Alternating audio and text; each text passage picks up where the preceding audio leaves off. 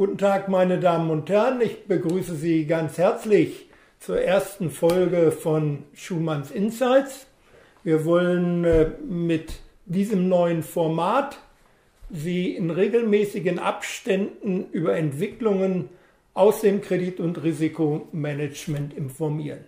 In dieser ersten Folge heute will ich darüber reden, wie denn Ratingsysteme nach der Corona-Krise oder während der Corona-Krise reagieren, reagieren werden und äh, welche Konsequenzen das zum Beispiel für das Risikomanagement und die Limitvergabe von Unternehmen hat. Wenn wir, meine Damen und Herren, uns die aktuellen Entwicklungen ansehen, so kann man sagen, dass äh, tendenziell äh, Unternehmen, die ja alle den Lockdown gespürt haben, dadurch betroffen sind, äh, dass, ich glaube, das kann man sagen, von wenigen Ausnahmen abgesehen, sie weltweit von reduzierten Erfolgsaussichten betroffen sind.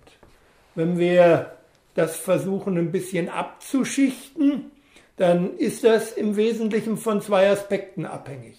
Zum einen der Branche und zum zweiten des jeweiligen Absatzgebiets. Wir haben also Branchen und wir haben Länderrisiken. Wenn wir den Consumer-Bereich betrachten, so können wir sehen, dass dort Unternehmen eigentlich kaum Umsätze nachholen können, die ihnen entgangen sind.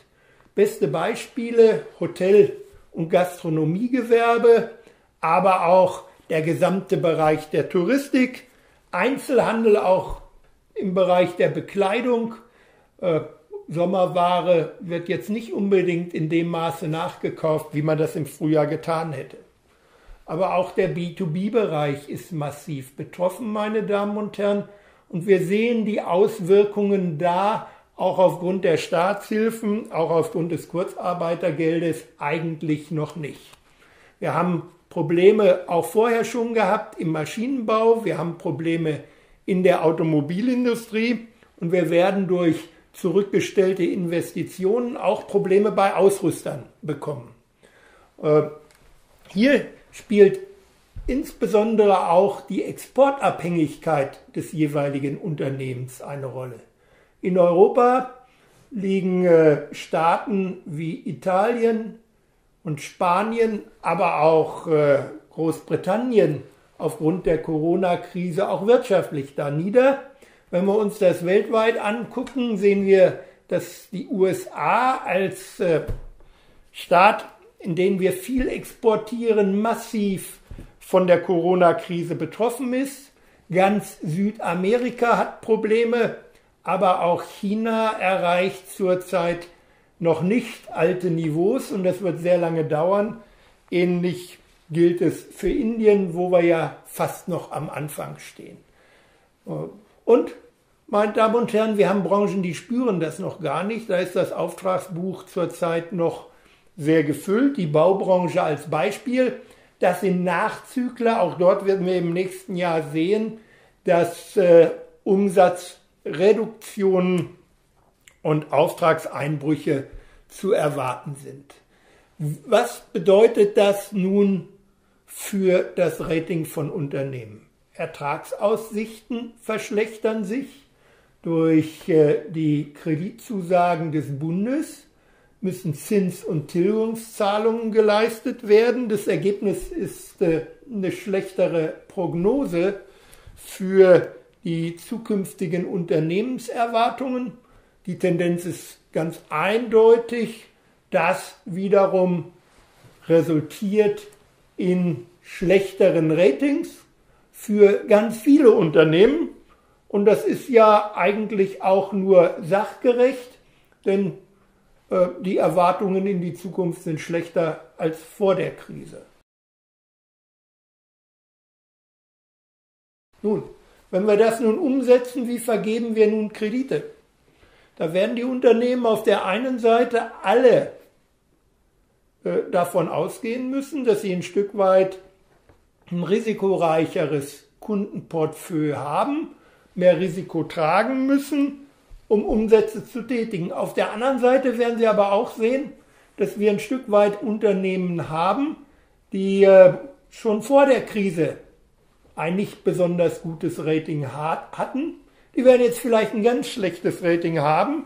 Und es wird dann dazu kommen, dass hier nur mit Sicherheiten oder Vorkasse noch bedient wird.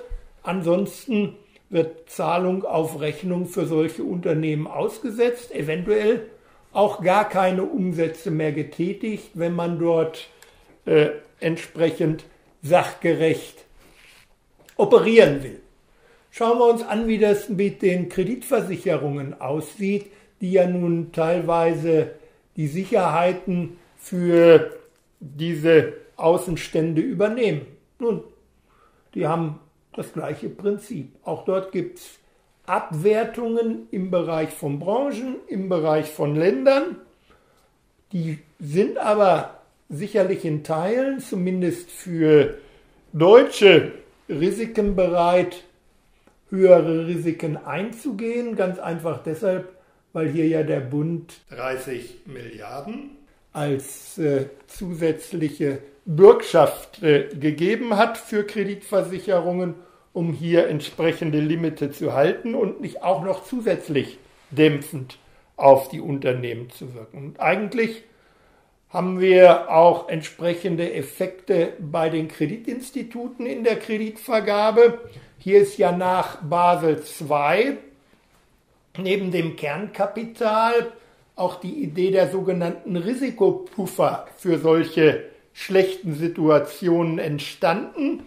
Und nun bleibt abzuwarten, wie Banken darauf reagieren bei der Prolongation zum Beispiel aus äh, laufender Kreditlinien, ob die in gleichem Umfang wieder vergeben werden oder ob man sich dort vielleicht doch wieder auf alte Geflogenheiten zurückzieht und damit die eigentlichen Kunden ein Stück weiter streckt, äh, schwächt. Frage, die sich auch stellt. Was ist eigentlich äh, mit Zahlungszielstreckungen oder dem vorübergehenden Verschieben von Mietzahlungen, anderen Zahlungen durch Kunden zu halten? In einem Lockdown, meine Damen und Herren, kann es ja kurzfristig dazu kommen, dass keine Umsätze von den Kunden getätigt werden können und äh, dadurch so eine Streckung des Zahlungsziels durchaus sinnvoll ist. Langfristig, meine Damen und Herren, führt das aber dazu, dass ich ja eine Welle von Zahlungen aufbaue und die Frage ist, ob die Unternehmen in angemessener Frist das dann wirklich bewältigen können oder ob sich hier nicht äh, aufgestaute Zahlungsverpflichtungen am Ende vielleicht sogar in Insolvenzgefahr äh, Ausdruck verleihen und damit vielleicht Ausfälle vorkommen. Insgesamt also, wir sehen, wir haben realistische Risikobewertungen, Ratings, die ganz notwendig sind.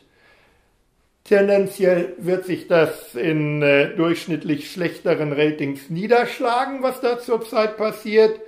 Dieses wird dann auch dazu führen, äh, dass es dann Kunden gibt, die nicht mehr auf Rechnung, sondern nur gegen Vorkasse oder gegen Sicherheiten beliefert werden. Aber natürlich, meine Damen und Herren, gibt es auch Ausnahmen. Wir haben natürlich im Medizintechnikbereich und im äh, Medizinzulieferbereich zurzeit auch Unternehmen, die von so einer Krise profitieren, die Wachstum haben. Auch da muss man genau hinschauen. Oder wir haben Unternehmen, schauen sich den Fahrradhandel an und die Fahrradproduktion. Da haben sie zurzeit riesen Lieferzeiten. Da werden zum Großteil Kundenaufträge vorgezogen. Und wir werden dann in kommenden Perioden sehen, dass da vielleicht äh, bestimmte Umsatzausfälle eintreten.